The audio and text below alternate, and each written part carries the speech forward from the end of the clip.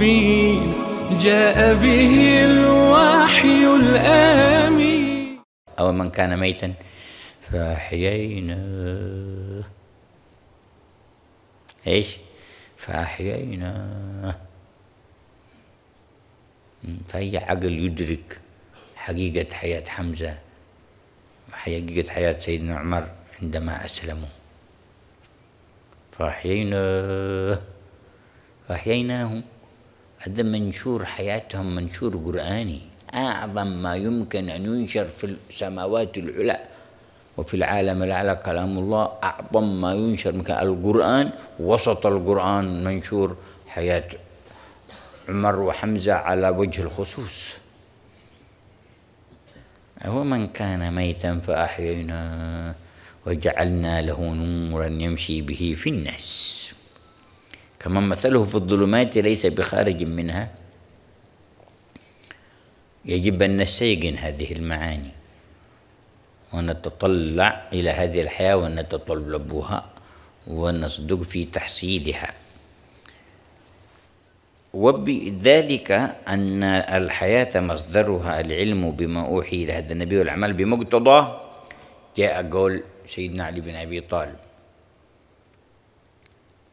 ما الفخر إلا لأهل العلم؟ إنهم على الهدى لمن استهدى أدلاه وقدر كل امرئ ما كان يحسنه والجاهلون لأهل العلم ففز بعلم تعيش حيا به أبدا. الناس موتى وأهل العلم أحياؤه وأراد بعض الأكياس أن يلفت نظر الناس إلى حقيقة الحياة وأن لا يغتروا بصورتها ال- التي ليست بشيء. يقول وقال ليس من مات فاستراح بميت إنما الميت ميت الأحياء. وقال الآخر وفي الجهل قبل الموت موت لأهله فأجسادهم قبل القبور قبل ما يدخلون في القبر قد أجسادهم اللي قبرة أرواحهم فيها ميتة. حول ولا قوة. ها؟ يا حي إحينا بحبيبك الحي. حياة طيبة. نرقى بها في المراتب الرفيعة. ثم جعل الله تعالى في الأمة تجديدات لهذه الحياة.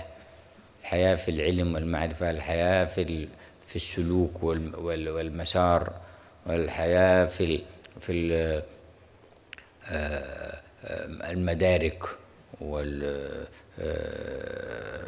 والبصائر ووهبها سبحانه وتعالى واجعل حظ هذه الأمة منها وفيرا والحمد لله.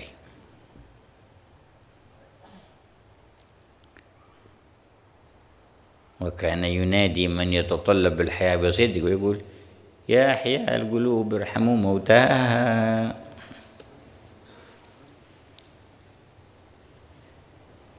الله يحيي قلوبنا.